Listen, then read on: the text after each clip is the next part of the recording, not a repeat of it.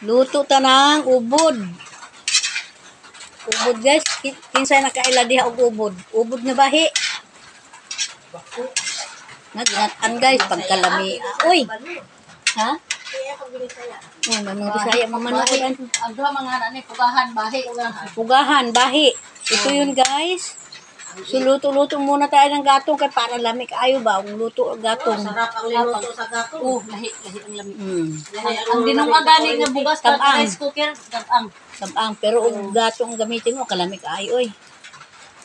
Sarap guys. Sino ang nakaila dyan? Ang ginataan pagkalami. Hmm.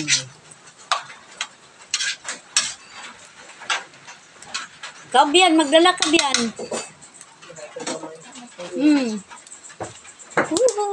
Gatong-gatong lang ta pagkalami. Ah, oy. Ginataan, ubod. Ng bahi.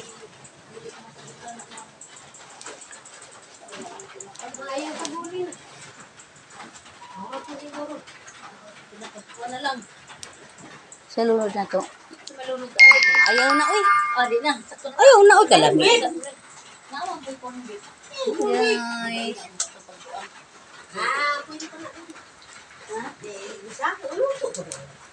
Kasarap-sarap.